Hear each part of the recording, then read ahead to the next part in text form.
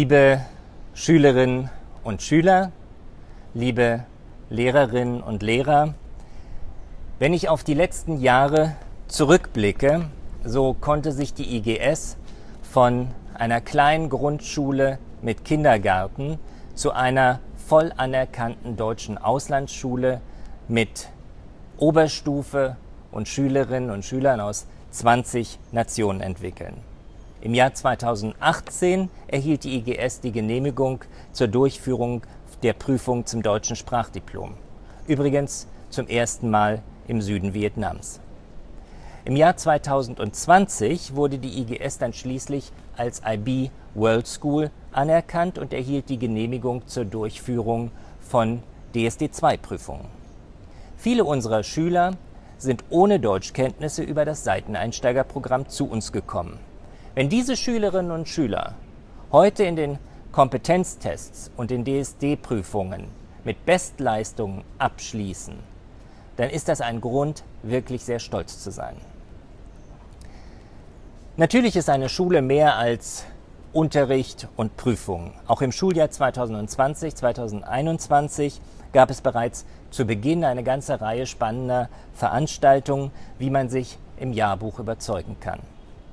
Es gab Feste, Konzerte, Ausstellungen, Zeitzeugeninterviews zum Tag der deutschen Einheit, Siegerplätze bei Wettbewerben, wissenschaftliche Vorlesungen wie an einer richtigen Universität oder auch den Tag der Mathematik. Andere Dinge mussten verschoben werden, wie der deutsche Weihnachtsmarkt, das Forschungsschiff oder die Vernissage am Ende des Schuljahres. Wenngleich wir uns alle ganz sicher nach Öffnung, nach dem normalen Leben sehen, so muss man doch anerkennen, dass es durch IGS Online, den Online-Unterricht möglich war, einen systematischen Lernfortschritt zu sichern und das Schuljahr heute ordnungsgemäß mit der Ausgabe der Zeugnisse abzuschließen. Dies erforderte ein hohes Maß an Selbstorganisation, an Engagement, auch Kreativität von Schülern, Lehrenden und Eltern, insbesondere der jüngeren Lerner an unserer Schule. Ich möchte mich persönlich an dieser Stelle bei den Lehrenden, den Schülerinnen, den Eltern und unseren Partnern bedanken, ohne die der Erfolg der Schule während der letzten sechs Jahre in dieser Form nicht denkbar gewesen wäre. Mein ganz besonderer Dank dient der erweiterten Schulleitung, Frau Schaffer, Frau Barnicke, Frau Schöchert sowie unseren Fachleitungen. Ab dem kommenden Schuljahr wird neben Frau Schaffer ein neuer Schulleiter die Verantwortung für die IGS übernehmen. Ich wünsche unserer Schule, Ihnen und euch viel Erfolg und bedanke mich an dieser Stelle für die gemeinsame Zeit.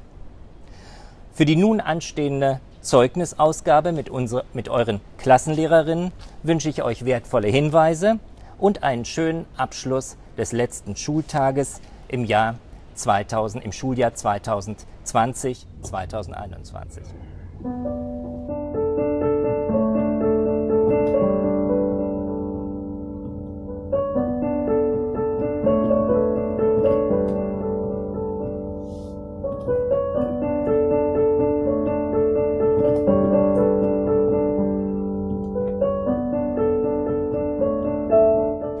Ja, liebe Schülerinnen und Schüler zu Hause, liebe Frau Barnecke, wir kommen jetzt zu einem Kapitel der Zeugnisfeierlichkeiten, die uns ganz besonders viel Freude bereiten, nämlich die Über Übergabe der Urkunden für ganz besondere Leistungen. In diesem Jahr, das kann man glaube ich sagen, gab es eine ganze Reihe von Schülerinnen und Schülern, die in einzelnen Fächern unglaublich tolle Leistungen hervorgebracht haben, die wir heute an dieser Stelle würdigen wollen.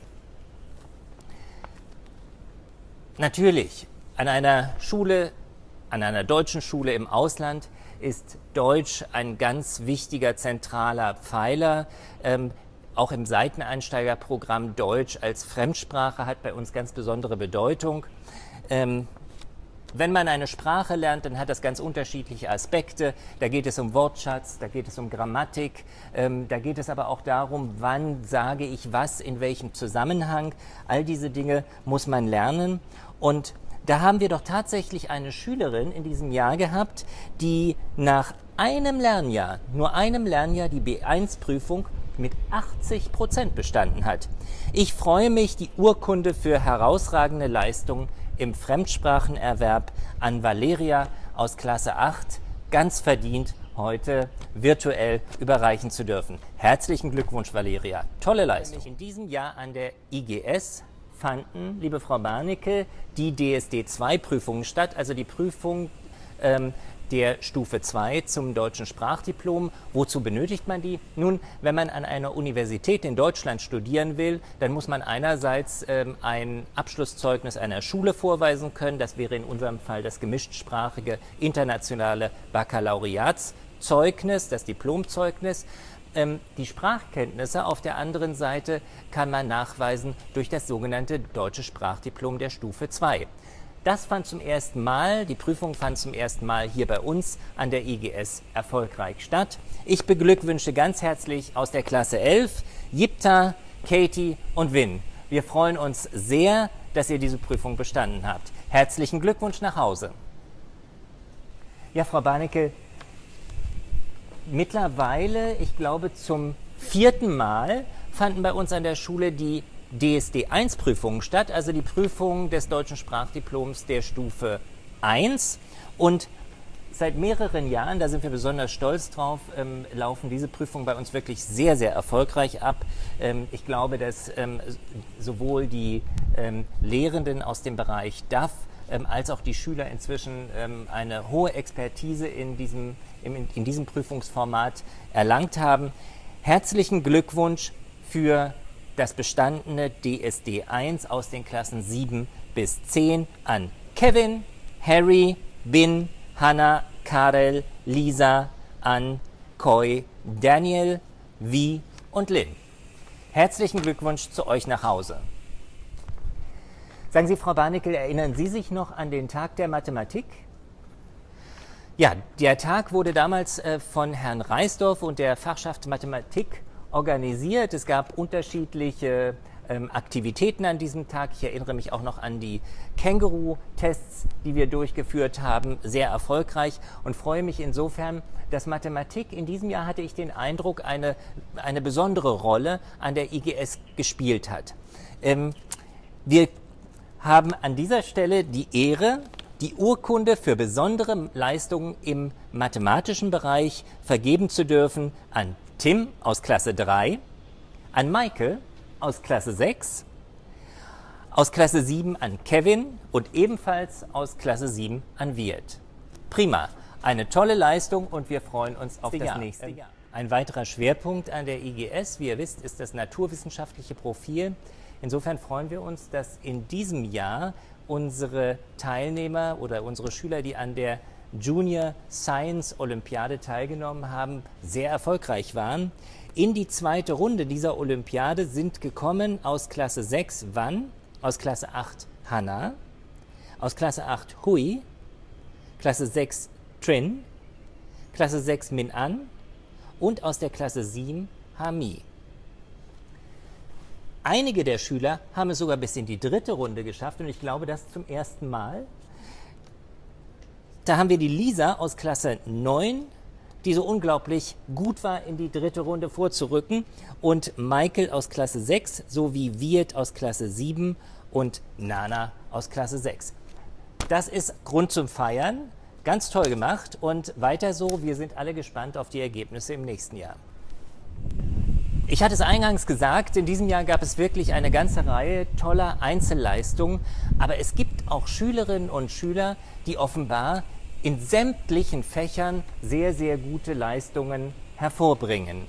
Für den Bereich in der Grundschule können wir die Urkunde für herausragende schulische Leistung in der Grundschule in diesem Jahr an Tim aus Klasse 3 vergeben die Urkunde für herausragende schulische Leistung in der Sekundarstufe, auch dort gibt es die nämlich, äh, freuen wir uns, dass wir sie an Wann aus Klasse 6 vergeben können. Herzlichen Glückwunsch für die Urkunde für herausragende schulische Leistungen in der Grundschule und in der Sekundarstufe. Einer der Profilschwerpunkte an der IGS ist Kreativität. Nun, in den letzten Wochen, als wir, als ihr im Online-Unterricht gelernt habt, möchte man denken, dass Kreativität, Frau Barnecke, vielleicht gar nicht eine so wichtige Rolle spielt. Aber letzten Endes ist genau das Gegenteil der Fall. Aufgrund der begrenzten Möglichkeiten musstet ihr, aber auch eure Lehrkräfte sehr kreativ sein, um diesen Unterricht interessant zu gestalten. Kreativität, ein wichtiges Profilmerkmal bei uns an der Schule. Wir freuen uns, dass die beiden Kreativpreise in diesem Jahr zum einen an die Klasse 5 an Ann-Sophie gehen und an die Klasse 9 und zwar an Ann. Herzlichen Glückwunsch für den Kreativpreis in diesem Jahr. Die vielen tollen fachlichen Leistungen, die wir in diesem Jahr haben, die sind natürlich ganz wunderbar.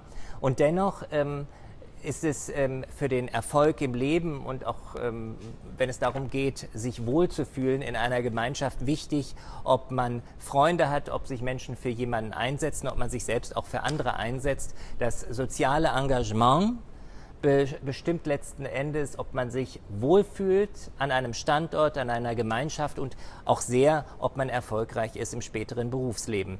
Wir freuen uns sehr, den SV-Preis für besonderes soziales Engagement an unsere Schulsprecherin Hanna aus Klasse 8 in diesem Jahr vergeben zu können. Herzlichen Glückwunsch, liebe Hanna. Frau Barnickel, als ich in London durchs Museum gegangen bin, habe ich einige Gemälde gesehen und Dinge, die ich erkannt habe, aus meiner Kindheit äh, wiedererkannt habe.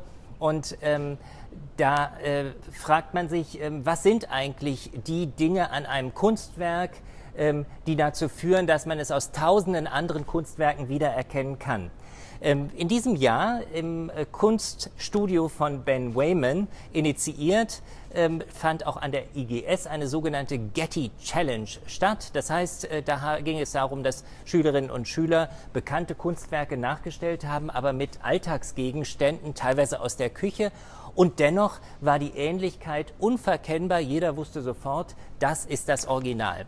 Ähm, eine ganz, ganz tolle Kunstidee, ein fantastisches Projekt. Ähm, schaut einfach hier mal rein. Wir haben einige Bilder ausgewählt, die wir besonders toll fanden und beeindruckend.